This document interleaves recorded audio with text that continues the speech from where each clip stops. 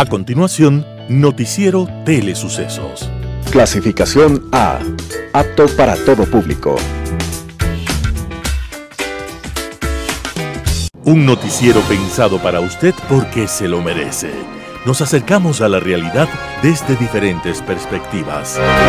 Noticiero Telesucesos. Primera parte del noticiero Telesucesos con las noticias más importantes del día.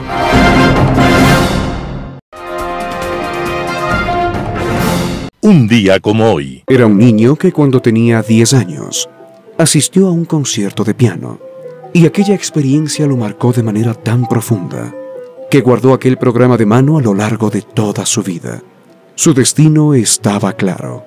Aunque sus padres presionaran para que estudiara leyes, su vida habría de estar marcada por el pentagrama. El personaje se llamaba Robert Schumann y el mundo lo recuerda como un brillante compositor aunque su sueño de gran intérprete se vio frustrado por un exceso de su parte. Para mejorar su virtuosismo, Schumann se ligaba y retorcía los dedos de manera exagerada para aumentar su flexibilidad, y llegó a tal extremo que se fracturó uno de los dedos. Esa lesión le impidió volver a interpretar el piano, y Schumann se limitó a la composición musical. Esta frustración se unió a problemas amorosos y a otros conflictos familiares de vieja data. La familia de Schumann presentaba un historial de depresiones y otras complicaciones fatales. Aquejado por un profundo desgaste emocional, aquellas descompensaciones mentales hicieron mella en Robert Schumann. Y un día, desesperado, Schumann se lanzó a las aguas heladas del Rin, de donde fue milagrosamente rescatado. Sus últimos años los pasó envuelto en una neblina mental que le permitió poco contacto con la música, encerrado en un sanatorio. Pero aquel personaje, silencioso y desconocido, antes había sido el compositor romántico por excelencia de la Alemania de su tiempo, y había nacido Robert Schumann un día como hoy, 8 de junio de 1810. Y había nacido para quedarse para siempre en el mundo de la música, con un nombre propio, en las principales carteleras del mundo. Las principales noticias del día. Titulares. En seis meses se puede adjudicar la modernización del Equapass y en tres que funcionen los escáneres en los puertos.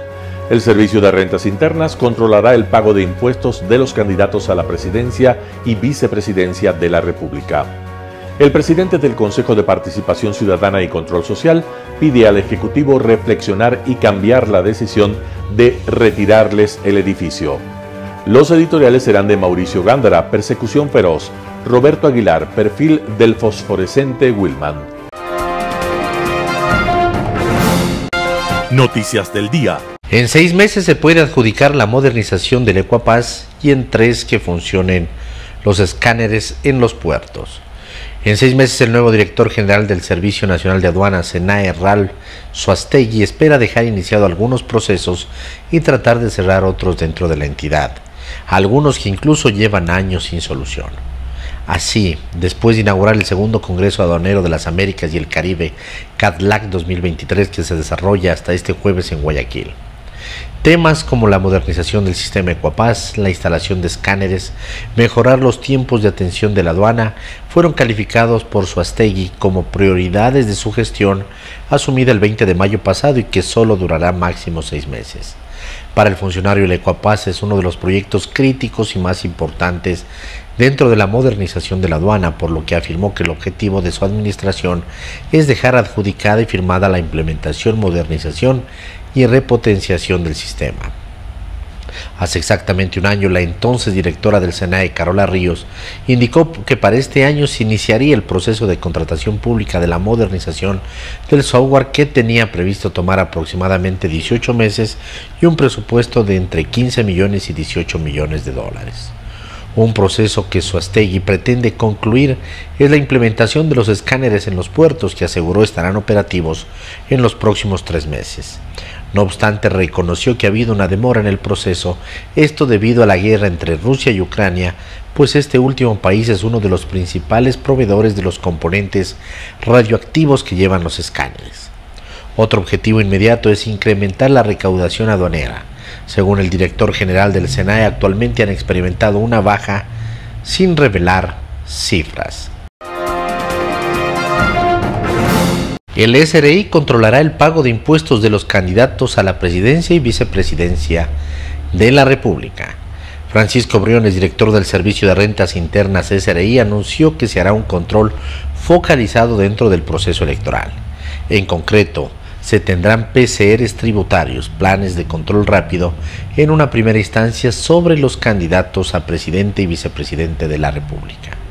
Creemos que si una persona tiene entusiasmo por servir a la patria, es importante que esté cumpliendo con todas sus obligaciones tributarias. Ese es el primer deber cívico de alguien que se mete en la política, mencionó. Primero se verificará que hayan pagado todos los impuestos que les corresponden. Si no están al día, se exigirá que cumplan con todo lo pendiente. A través de cruce de información correspondiente a diferentes bases de datos disponibles, el SRI determinará si existen diferencias entre lo desembolsado por el contribuyente y lo que realmente debería pagar de acuerdo a su nivel de vida, ingresos, entradas y salidas del país, propiedades, entre otros como en los PCRs tributarios que ya se han hecho, con toda la evidencia de la diferencia, se convoca al contribuyente a la oficina del director del SRI o de los directores zonales para pedir explicaciones. Lo que buscamos es que los candidatos paguen todo lo que les corresponde. La verdad es que no tienen ninguna consecuencia electoral, pero la idea es que haya una evaluación ciudadana y social, que se sepa si la persona que se está postulando ha tenido un comportamiento de cumplir con sus obligaciones o si por el contrario ha tenido un comportamiento evasivo a lo largo del tiempo, recalcó Briones. El presidente del Consejo de Participación y Control Social pide al Ejecutivo reflexionar y cambiar la decisión de retirarles el edificio. El presidente Guillermo Lazo dispuso que el edificio donde funciona el Consejo de Participación Ciudadana en Quito sea devuelto al Banco Central del Ecuador. El lunes 5 de junio el mandatario emitió el decreto ejecutivo número 759, con el que deroga dos decretos firmados en 2010 y 2012 por el expresidente Rafael Correa. En esos decretos el exmandatario dispuso la transferencia de bienes inmuebles de propiedad del Banco Central al Consejo de Participación y Control Social y a Inmobiliar. Pero en el nuevo decreto el presidente Lazo argumenta que el Código Orgánico Monetario vigente en la actualidad dispone en el artículo 56.1 que el Banco Central del Ecuador tiene prohibido proporcionar ayudas, donaciones o contribuciones financieras a personas naturales o jurídicas. El presidente del Consejo de Participación y Control Social, Allen Bembera, rechazó la decisión del presidente Guillermo Lazo de terminar el comodato del edificio donde funcionan sus instalaciones pero lo llamó a reflexionar y cambiar su decisión para que el Consejo de Participación y Control Social pueda mantener sus oficinas. El presidente del Consejo de Participación y Control Social recordó además que existe un convenio firmado entre el Banco Central y el Consejo para el uso del edificio. Según Vera, ese convenio no puede disolverse sin la revisión de ambas partes y agregó que el documento estipula que la propiedad del edificio debía pasar a manos del Consejo de Participación y Control Social y que la transferencia sería gratuita. El funcionario advirtió que no van a permitir que el gobierno les quite el edificio porque a su criterio los decretos son ilegales y no ha habido mediación para disolver el convenio. Por lo que si el Banco Central y el Ejecutivo insisten en esta decisión, dijo que pelearán en el terreno legal. Entrevista del día.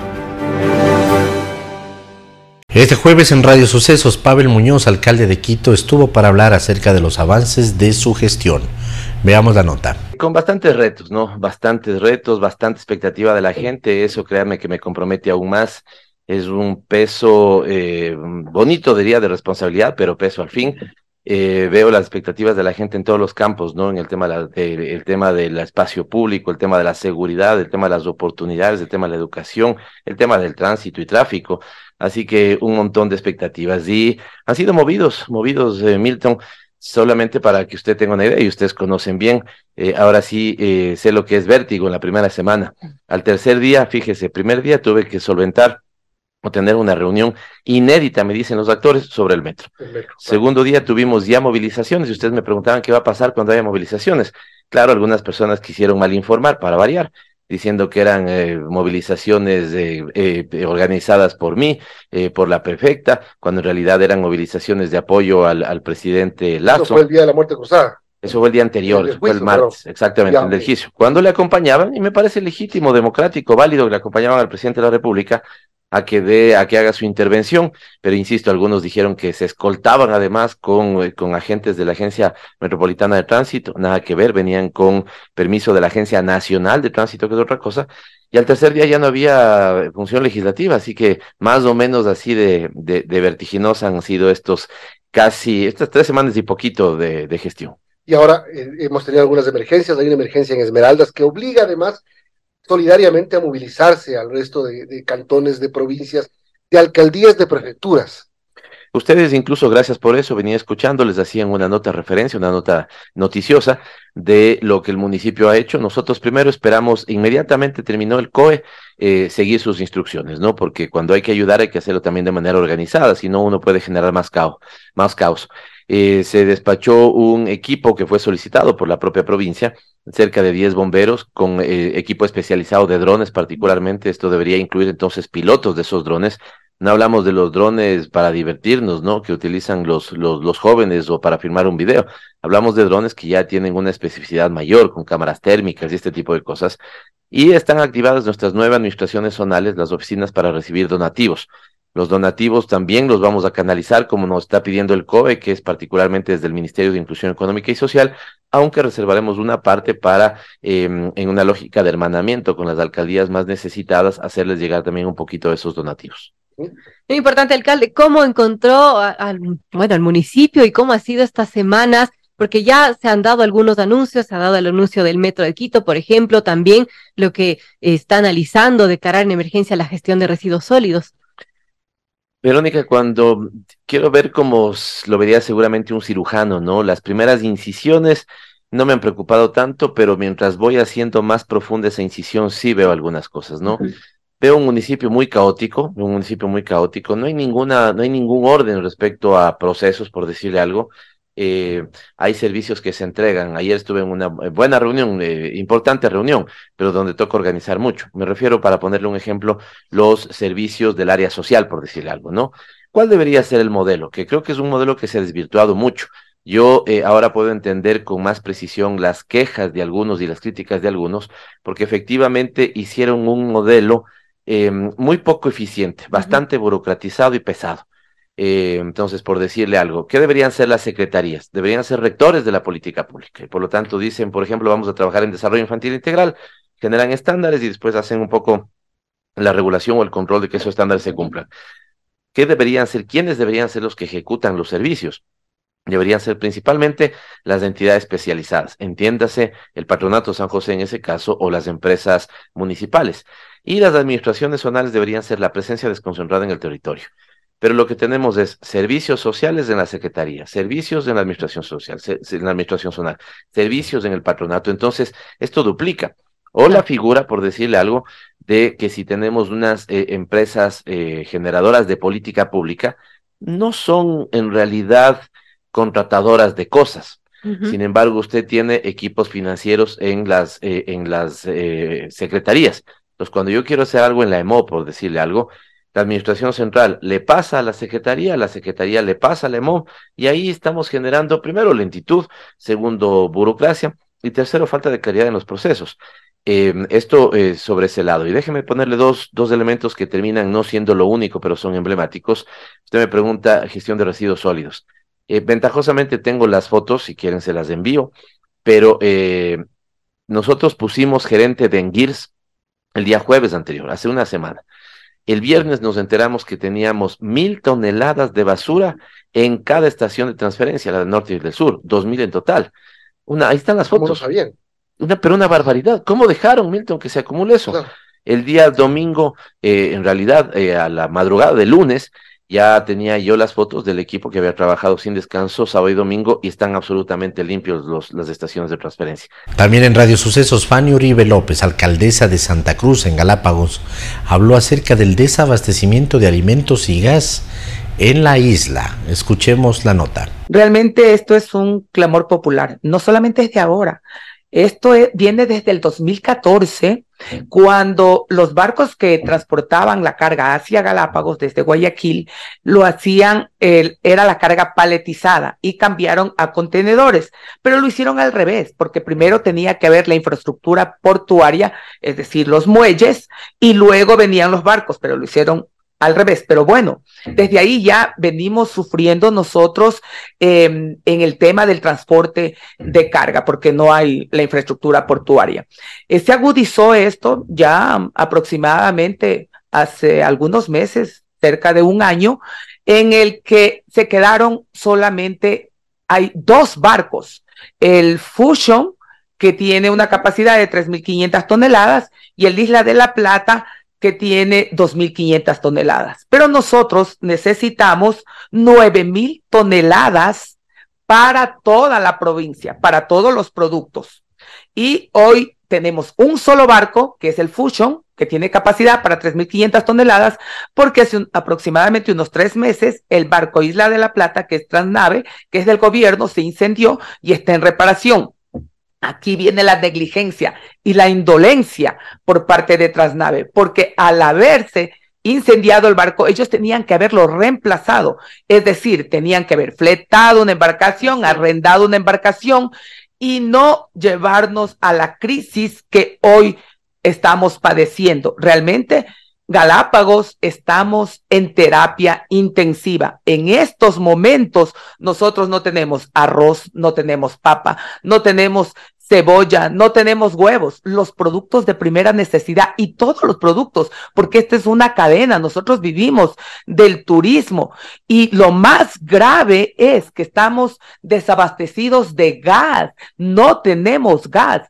Hace unos tres días que me informaron, teníamos 30 bombonas de gas eh, industrial para los sectores productivos y 300 bombonas de gas para em, la población en general.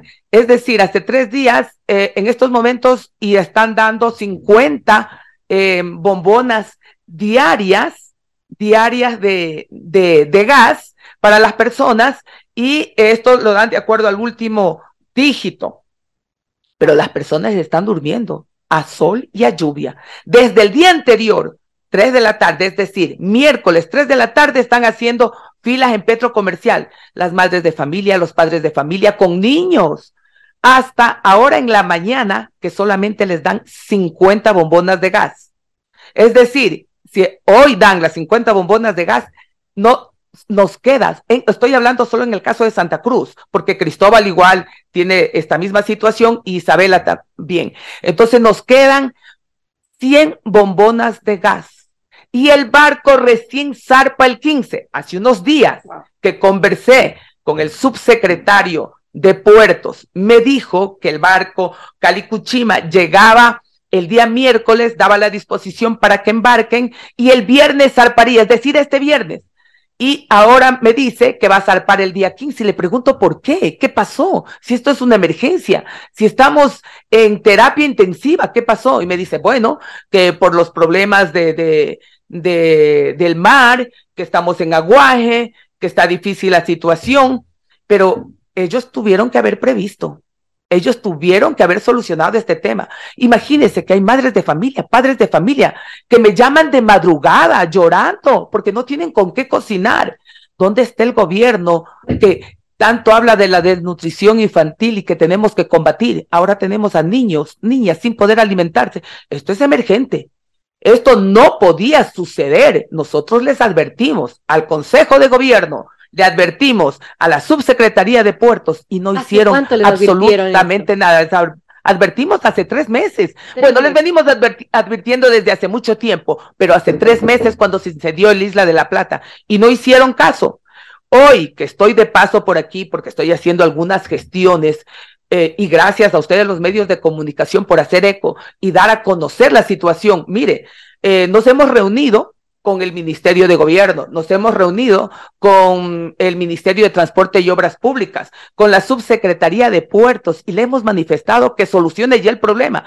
Hace unos días escuchamos al ministro de Obras Públicas que dijo que ya en 15 días estaba solucionado y que estaba el barco. Y mire, no hay ni barco, no hay nada.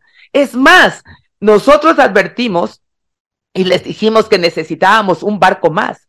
Y los procesos están en la subsecretaría de puertos, cuatro o cinco eh, inversionistas eh, privados. Y sin embargo no han dado paso. Tenían que haberlo hecho ya y no lo hicieron. Y también nosotros no queremos que sea que esto sea un monopolio. Nosotros queremos que haya competitividad, no un monopolio para nosotros y necesitamos el barco ya.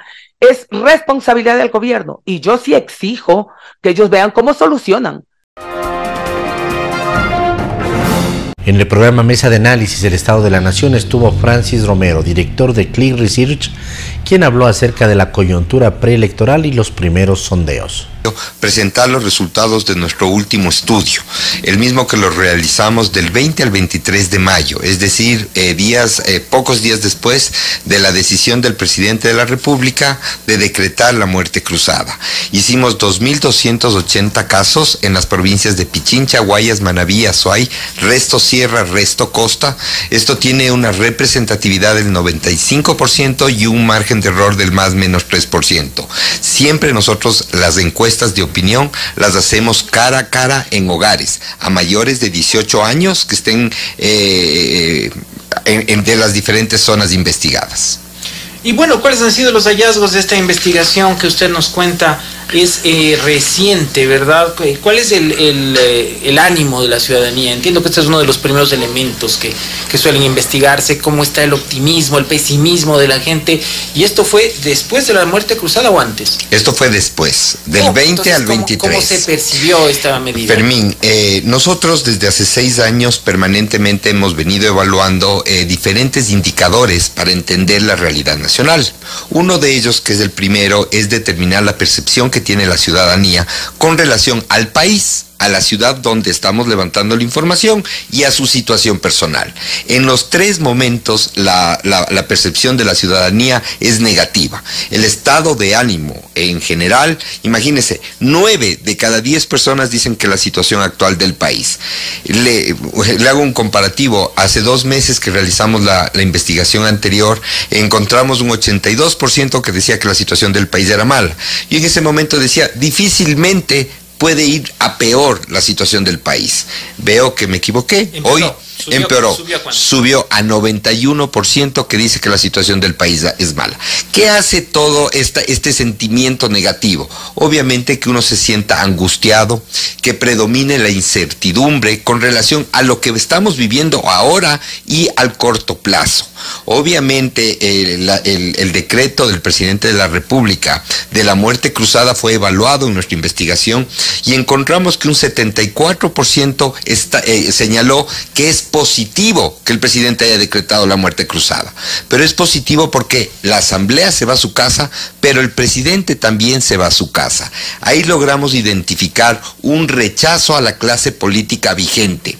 Y esta nueva oportunidad, en lo que usted mencionó, como eh, que es evidente, este proceso electoral flash que vamos a vivir va en las próximas semanas a cambiar lo que estamos evaluando actualmente. ¿Qué quiero decirle? Que en las, en, las pocas semanas el entusiasmo por ciertas candidaturas, porque uno tiene que escoger por quién va a votar, va a empezar a generar optimismo, esperanza. Y eso sin duda alguna hará que de alguna manera la situación, la percepción de la situación empiece a mejorar.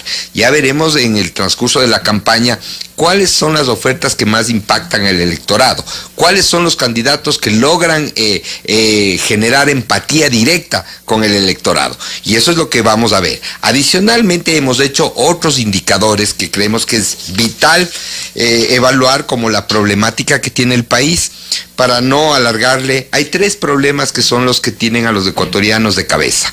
El primero y el más grave por el crecimiento que ha tenido en todas las ciudades es la delincuencia. Adicionalmente hemos identificado que la corrupción sigue creciendo como el principal como uno de los principales problemas que tiene el país y obviamente el bolsillo, la crisis económica y el desempleo que no ha dado tregua a la mayoría de los hogares ecuatorianos. Siete de cada diez ecuatorianos no tienen empleo y para hacerle algo, algo, algo muy, muy fácil de asimilar.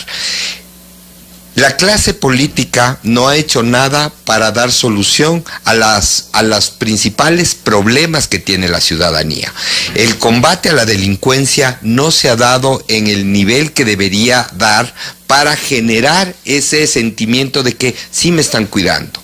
Las, las, las acciones o, o, o todas las políticas que ha implementado el Ejecutivo, el Legislativo, para generar trabajo, no han dado frutos. Siete de cada diez ecuatorianos es el resultado de la mala gestión.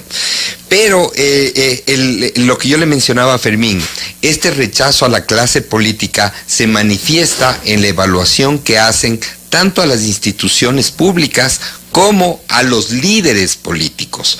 Eh, en, hace un par de, de, investigaciones nosotros evaluamos la imagen de Nayib Bukele en el Ecuador y estaba casi en el 70%.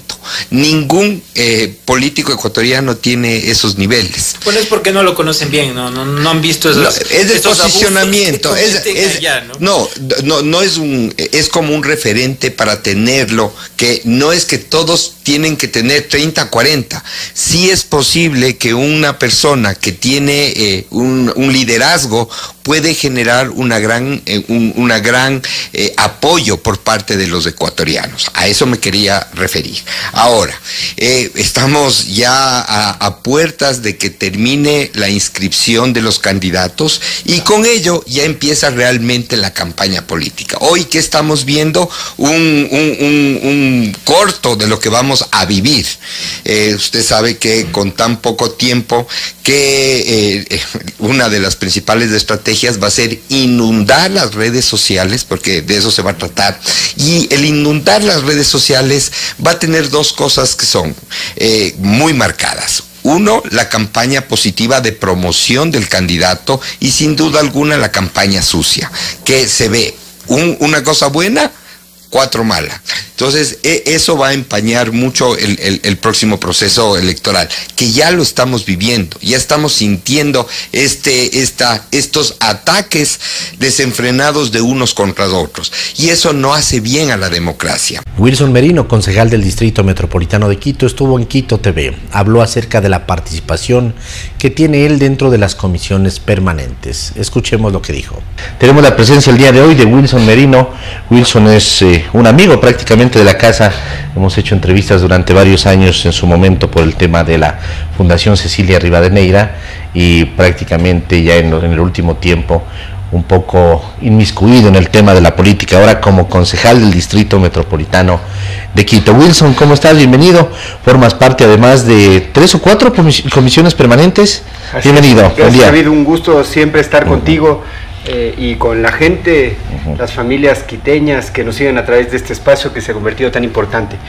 Eh, muy contento de estar en el Consejo Metropolitano. Eh, vamos a trabajar con mucha cabeza, pero sobre todo con mucho corazón para poder eh, resolver los enormes conflictos que tiene la ciudad.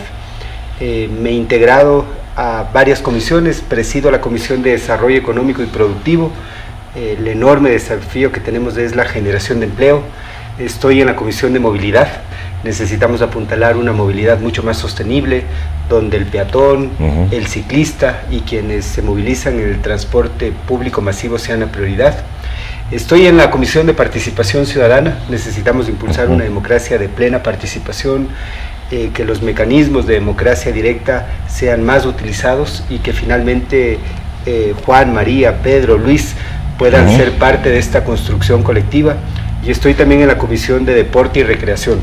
Creo que es fundamental eh, invertir en actividades de ocio, en activi invertir en, en, proyectos socioculturales, lúdico-pedagógicos, sociodeportivos que nos permitan hacer frente a enormes problemas que tiene la ciudad como el consumo de drogas, el consumo de alcohol, la delincuencia.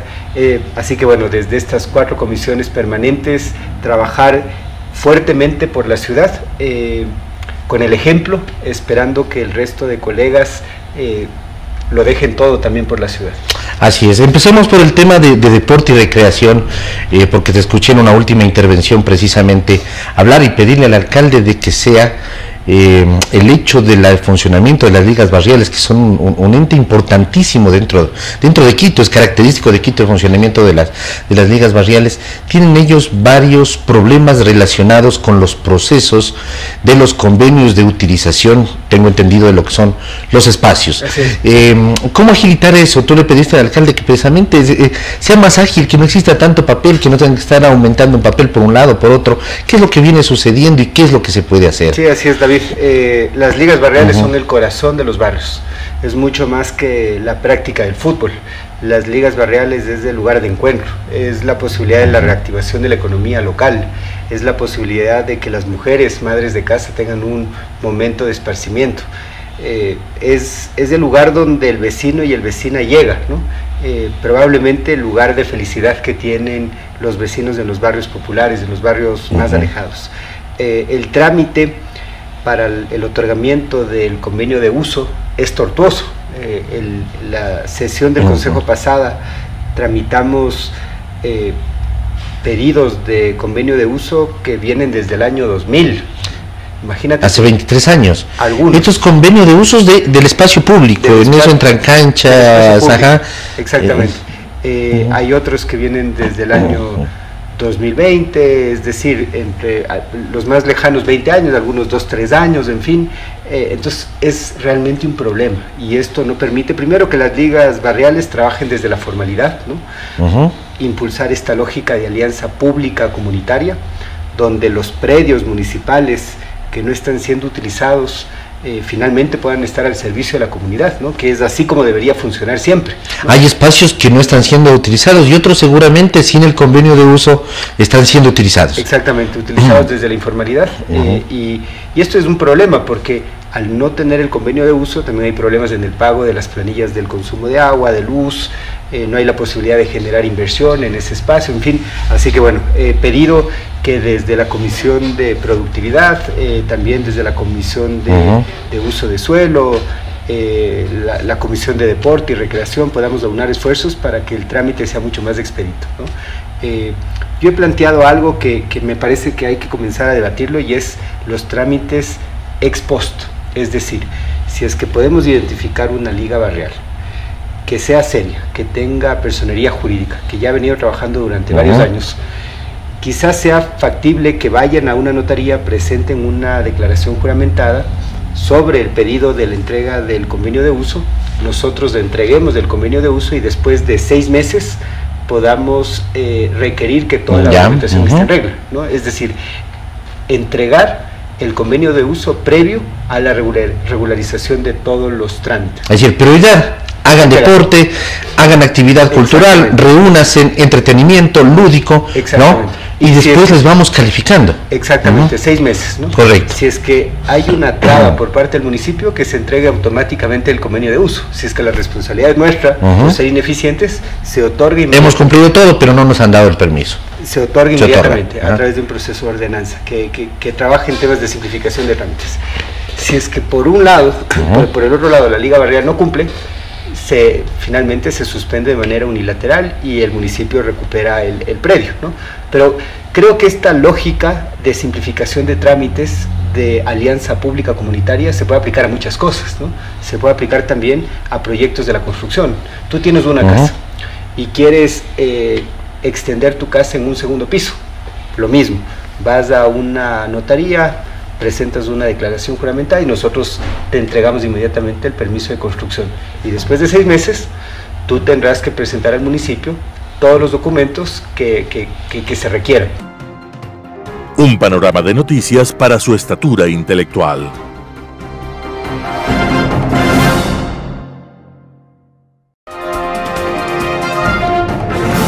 Editorial. Persecución feroz. Mauricio Gándara, El Universo. Aunque nos estamos acostumbrando a presenciar los más rudos enfrentamientos políticos, el último en el enjuiciamiento al presidente de la República me parece todavía más rudo más feroz el que tiene lugar en la persecución desatada contra la fiscal general del Estado Diana Salazar y que se ha iniciado simultáneamente en dos frentes de batalla. El uno encabezado por un curioso, atravilario personaje loco por figurar que preside el Consejo de la Judicatura y cuyo intento por destituir a la perseguida fracasó porque sus propios colegas no le dieron quórum para instalar la sesión de juzgamiento. El otro, encabezado por un funesto personaje, caracterizado por morder a todas las víctimas señaladas por su jefe, como en la persecución al diario El Universo, de la que el propio jefe tuvo que desistir por la presión nacional e internacional. Olvidó este personaje que preside el Consejo de Participación Ciudadana y Control Social, que debe ser, aunque no lo es, apolítico, y que es él quien debe ser destituido por haber sido su elección patrocinada por un partido político, lo que está prohibido por la ley. El Consejo Nacional Electoral se hizo de la vista gorda y ahora está a prueba de demostrar su imparcialidad, su firmeza el Tribunal de lo Contencioso Electoral en la denuncia presentada por un hipertérrito joven articulista destacado, Juan Esteban Guarderas. Pero lo admirable en estas persecuciones es la valentía, sangre fría con la que enfrenta la perseguida, la fiscal, sin perder la perspectiva de los hechos, ha rechazado la competencia de la Judicatura y del Consejo de Participación para juzgarla, porque esa atribución solamente la tiene la Asamblea Nacional. Las atribuciones de la Asamblea hoy disuelta no se las puede atribuir a otros órganos del Estado. La facultad de juzgar nace de la ley y por tanto los que quieren venganza tendrán que esperar. Según se conoce, inclusive por declaraciones a la prensa nacional y extranjera, la fiscal no desea participar en las elecciones presidenciales. Si se decidiera hacerlo, me parece sería un candidato con más fuerza que la que tienen los candidatos que hasta ahora suenan como posibles. Cada persecución la ha hecho más fuerte, más popular a la fiscal. El que las elecciones de legisladores tengan lugar junto con la primera vuelta de los comicios de presidente de la República es lo que mueve a partidos y a movimientos políticos a presentar candidaturas presidenciales que impulsen a las listas de legisladores. Esto hay que corregirlo, haciendo que tengan lugar con la segunda vuelta, con lo que en mucho se evitaría que la Asamblea sea una colcha de retazos que impide políticas coherentes en la dictación de leyes y en las acciones de fiscalización. Ya hemos palpado que junto con el actual presidente en su partido político apenas fueron elegidos 12 asambleístas, con lo que quedó a merced de la oposición, lo que nos condujo a la anarquía que vivimos y en la que la muerte cruzada, en el momento en que se adoptó, fue un remedio peor que la enfermedad. Seguimos devorándonos unos a otros en una sanguinaria lucha entre caníbales. Mauricio Gándara, El Universo. Perfil del fosforescente Wilman. Roberto Aguilar, El Expreso. El indescriptible Wilman se cree presidenciable, o algo así. Lo último fue una asamblea que devino en acto proselitista de Coliseo, con empleados judiciales que abandonaron sus puestos de trabajo para gritarle vivas y hurras. Había un escenario con una estructura de metal de la que pendía un excesivo sistema de amplificación, una pantalla gigante que reproducía el careto del indescriptible en proporciones épicas, mientras despachaba sus babosadas grandilocuentes y sonoras. Una serie de gigantografías de lona con mensajes en su honor, mandadas a imprimir específicamente para la ocasión y que quizás terminarán en el tarro de la basura una vez concluido el acto. Un par de centenares de sillas plásticas dispuestas sobre la superficie de la cancha, en suma, plata gastada. ¿Plata pública? En eso emplea el dinero de los contribuyentes el hombre que puso una acción de protección contra el presidente de la República, la acción de protección más estúpida en el país campeón mundial en acciones de protección estúpidas. ¿Para exigir más presupuesto? ¿O alguien lo financia? ¿Quién? ¿A cambio de qué? Con el indescriptible Willman uno se pone a barajar posibilidades y resulta que cada una es peor que la otra. Lo cierto es que actos de coliseo como el de esta semana los protagoniza cada tanto. Ya tuvimos un judicial con ínfulas de candidato, el fiscal Washington Pesantes, que terminó con un partido de alquiler propio y candidatura a la presidencia en el rango de entre 0.5 y el 0.8% de los votos. hombre de pocas luces y no precisamente muy intensas, poseedor de una ignorancia descomunal de cuyos abismos es perfectamente inconsciente, cree, por ejemplo, que la Segunda Guerra Mundial ocurrió en el siglo XVIII, lo cual equivale a no saber nada de nada. El indescriptible Willman sigue sus pasos, pero con efectos mucho más devastadores para el sistema judicial y harto más aspaviento. Semejante espécimen nadie se hace cargo de él, ni los correístas, ni los socialcristianos que lo parieron, ni el juez Iván Saquicela, que lo puso de primero en una terna, ni los anteriores consejeros del Consejo de Participación Ciudadana y Control Social que lo nombraron, nadie. El indescriptible Willman parece actuar por cuenta propia, y sin embargo es obvio que sigue al pie de la letra un guion bien establecido mientras fabrica su figura de presidenciable o lo que fuera. Ya representó su parte en el acoso institucional al régimen de Guillermo Lazo, con la mencionada acción de protección para sacarle plata al presidente, ya pretendió participar torpemente en la conspiración contra la fiscal que ejecuta el correísmo, ahora se encamina con firmeza hacia la destrucción final de la credibilidad del ya de por sí desprestigiado sistema judicial, atentando contra el principio de publicidad y transparencia de los procesos al emitir una directriz sobre la transmisión de audiencias que prohíbe compartir los enlaces de las transmisiones vía Zoom, alterando el sistema digital de búsqueda de proceso para dejar la gran cantidad de información fuera del alcance de los ciudadanos y finalmente emitiendo un reglamento sobre el traslado de los jueces, un reglamento que le permite intervenir a voluntad en los procesos, amenazar a los jueces con el ostracismo si no actúan de manera complaciente y hasta entregar las causas espinosas a los más leales por usar una nomenclatura correísta hoy en boga. Ni el error inexcusable fue tan efectivo para la manipulación de la justicia como lo podría ser este reglamento.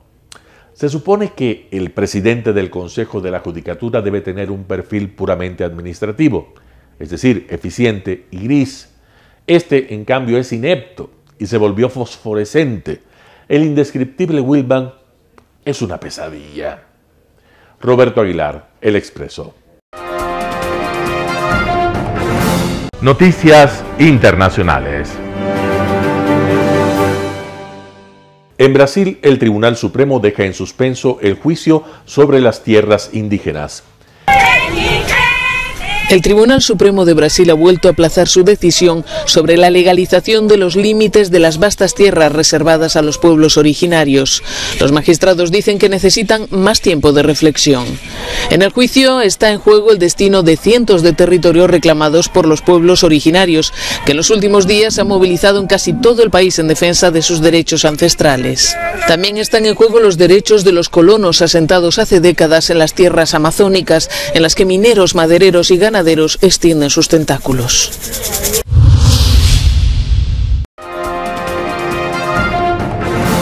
Incendios forestales en Canadá contaminan el aire en Estados Unidos. Incendios forestales que azotan los bosques canadienses de Alberta y Columbia Británica en Canadá llegó a Estados Unidos. La Casa Blanca anunció que está trabajando en conjunto con las autoridades ambientales de ambos países. Nuestro equipo aquí en la Casa Blanca está en contacto con el gobierno de Canadá. Ya hemos desplegado más de 600 bomberos y personal de Estados Unidos, así como equipos como bombarderos de agua para ayudar a Canadá a combatir los incendios. Hasta este miércoles, las autoridades canadienses contabilizaron más de 400 incendios activos y aseguran que más de 240 están fuera de control. La contaminación por el humo afectó a 15 estados en el este y el centro de Estados Unidos. La materia fina en la atmósfera podría superar los niveles nocivos para la salud y también amenazar con alcanzar a Georgia y Florida. Es importante que todos reduzcan su exposición al humo externo. El humo de los incendios forestales irrita los ojos, la nariz, la garganta y los pulmones. Puede dificultar la respiración y hacer que tosa o tenga sibilancias. Desde Washington, donde se emitió código rojo de aire no saludable, el meteorólogo Daniel Rivera explica que el sistema de baja presión junto a los vientos provenientes de Canadá provocan que el particulado se quede en la región. Se prevé que esta situación continúe durante los próximos días, mientras los incendios se estén dando y mientras estos vientos estén corriendo de norte a sur, vamos a tener estos efectos en nuestra región, tan, tan bajo como hasta la Florida probablemente. En Canadá, el Ministerio de Ambiente emitió la advertencia más severa para su capital, Ottawa, mientras que Toronto también ha sido cubierta por humo. Diva Cash, Voz de América. Alemania endurece su política migratoria y refuerza sus controles en la frontera con Polonia. Frontera entre Alemania y Polonia. Esta es la primera línea del endurecimiento de la política migratoria alemana. Aquí se están aumentando los controles y la presencia policial. Las autoridades afirman que se está produciendo un repunte del número de personas que atraviesan por rutas irregulares desde Polonia. Preguntamos a los agentes fronterizos si están a la caza de migrantes. Responden que están atentos a cualquier infracción. En principio, las personas que desean solicitar asilo son enviadas a centros como este. Un joven sirio acogido aquí nos explica que cruzó la frontera desde Polonia para reunirse con familiares.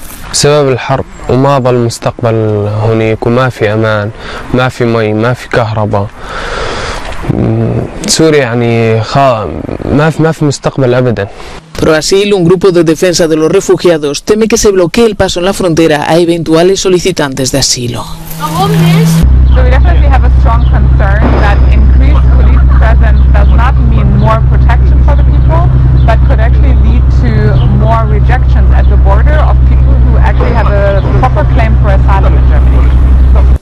El Ministerio del Interior alemán aseguró a Euronews que a todas las personas interceptadas en la frontera se les da la posibilidad de presentar una solicitud de asilo o protección. En los tres primeros meses del año se produjeron más de 4.000 entradas irregulares desde Polonia. El gobierno alemán afirma que reducir la inmigración irregular es una prioridad. Esto ocurre en un momento en el que el partido ultraderechista Alternativa para Alemania se ha disparado en las encuestas.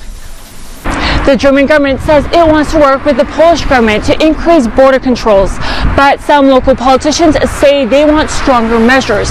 They want the police to have the power to turn people away or to have permanent border checks. El líder de la conservadora CDU en el Parlamento de Brandeburgo, que limita con Polonia, quiere que las autoridades tengan derecho a denegar la entrada a las personas que cruzan. We are not uh, speaking about Ukrainian people. There are only few Ukrainian people coming to Poland and, and to Germany up to now. Um, these are people from everywhere in the world, from Africa, from Syria, from Afghanistan, from the Middle East. En el centro de acogida, el joven sirio, a la espera de que se tramite su solicitud, conserva la esperanza. ألمانيا من عشر سنين وهي عم تستقبل اللاجئين وهي بلد كويس كثير مع السوريين وعائلتي هون هم نصحوني بألمانيا يعني. وألمانيا يعني أنا حابها وشايف إنه ألمانيا بلد جميل وفي إنسانية كثيرة هون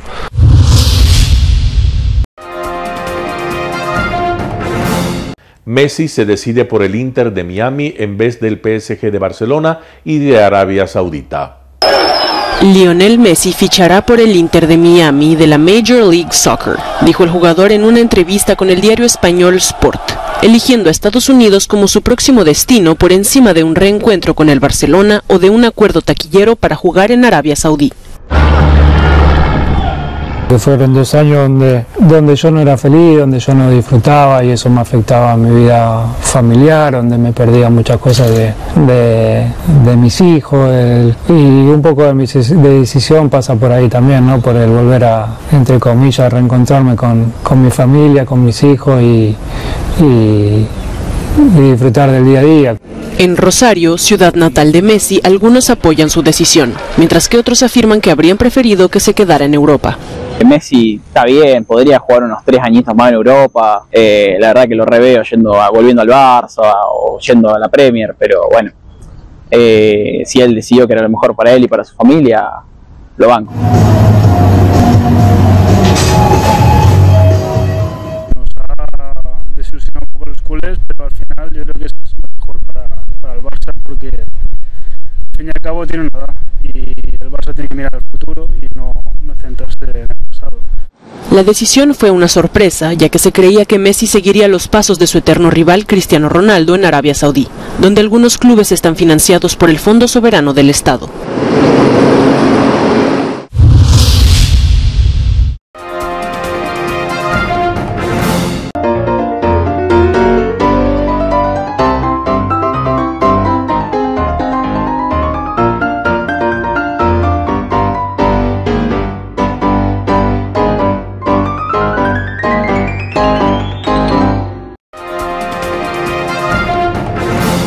Telesucesos Sports.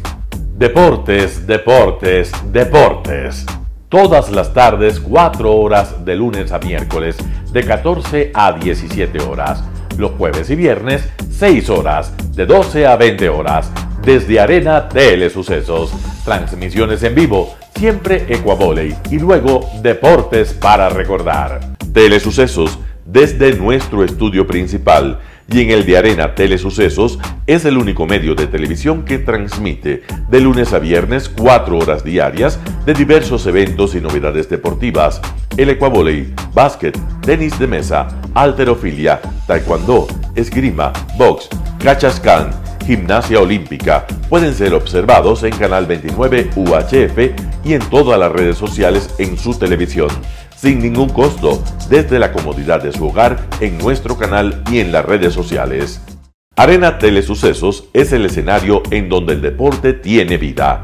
Nuestros invitados y jugadores están en la cancha junto a usted y como nunca antes en la pantalla de su televisor, acercándole a un espectáculo inolvidable de luz, color y fiesta. Por fin usted encuentra el deporte que practica y que nunca es transmitido ni considerado por otros medios de comunicación con la importancia que nosotros le damos. El Ecuavoley es el gran protagonista en una cancha con todos los estándares y comodidad para su práctica. Es el único deporte ecuatoriano con partida de nacimiento ecuatoriana. Somos inéditos, nos acercamos al deporte popular de nuestra gente que comparte nuestros esfuerzos. En Arena Telesucesos, aparte del atractivo de los eventos deportivos que transmitimos con nuestra señal a los televisores de su hogar, también entregamos muchos de los valores que encierra el deporte y en especial privilegiamos nuestra identidad nacional en el Ecuaboli, jerarquizando su presencia como el deporte con partida de nacimiento en nuestro país. Telesucesos no solo entrega en su programación de deportes un espectáculo, sino que impulsa, privilegia y exige a quienes participan que sean parte de los valores y méritos que el deporte encierra. Esfuerzo, superación, perseverancia, respeto, solidaridad, compañerismo, disciplina, puntualidad, sana competencia, honradez en la cancha y fuera de ella. La práctica deportiva siempre generará beneficios positivos para su cuerpo y entregará salud estable, pero refuerza además la identidad personal y premia siempre el éxito conseguido. Estamos entregando a nuestra ciudad con Arena Telesucesos un esfuerzo más de un medio que es fiel a su identidad y que a través de sus contenidos de salud, cultura, opinión calificada y ahora deportes, pretende difundir lo que, aparte del entretenimiento, requiere nuestra gente. Lo hasta ahora realizado está hecho con mucho esfuerzo, pasión y el entusiasmo de nuestra parte, de nuestros empleados, trabajadores y pequeños empresarios que creen en nuestras motivaciones. Hemos dado los primeros pasos para este proyecto que seguiremos haciéndolo gracias a ustedes. Telesucesos, el canal de televisión siempre inédito. El noticiero Telesucesos es retransmitido de lunes a viernes a las 7 horas por Radio Planeta Sur 106.1 FM de la ciudad de Loja. Noticiero Telesucesos.